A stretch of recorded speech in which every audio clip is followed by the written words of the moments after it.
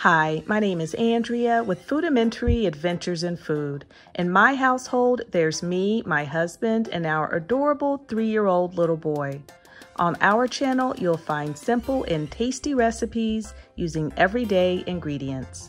Hey guys, so for dinner tonight, we are having this thin crust pizza from HEB. It's Italian sausage and pepperoni. And I made it on this pizza rack, this little silver pizza rack that I got from Walmart a while back ago. Um, if you wanna make pizzas on your oven rack, but you're worried about stuff falling through like the oven rack, um, you just use this. So I've got it resting on a cutting board. Um, but quick and easy dinner tonight, and we will see y'all next time. Hey guys, so for dinner tonight, we are having this chicken lo mein. It's from Aldi, it was in my freezer. I got it on an Aldi haul and it was quick and easy to throw together. Um, as always, whenever I make these little quick meals, I always add extra vegetables. So I added in some extra broccoli. I didn't have to add any extra salt, any extra sauce or anything like that, just the broccoli. So this is what we are having for dinner tonight and we will see y'all next time. Hey guys, so for dinner tonight we are having pinto beans and rice.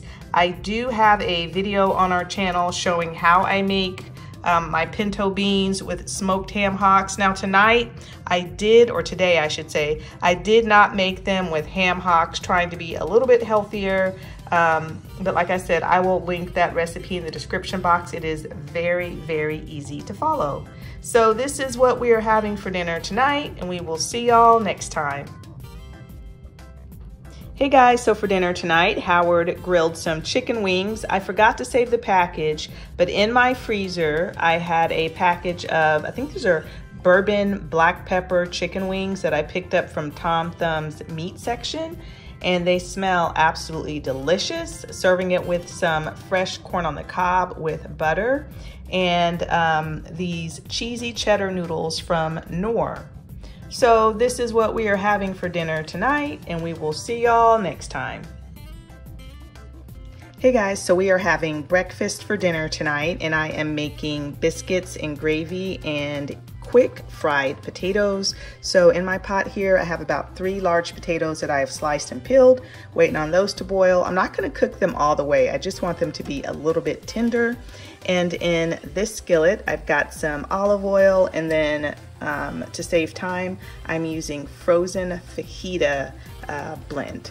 So I've got, well in this bag is red and green um, peppers and then also some onions. So I'm just waiting for these vegetables to get done. I'm gonna drain these potatoes and add them to the skillet and just fry them up. So I just added my potatoes to the skillet and then I am using this mixed up salt. I really like this a lot. It has salt and different herbs in there, has a really good flavor. But I'm just going to cover the skillet and let these soften and brown until um, they look like I want them to look. okay, so here is our dinner all plated up, sprinkled a little parsley right on top. And as you can see, there are the potatoes, quick and easy to make. So this is what we are having for dinner tonight, and we will see y'all next time.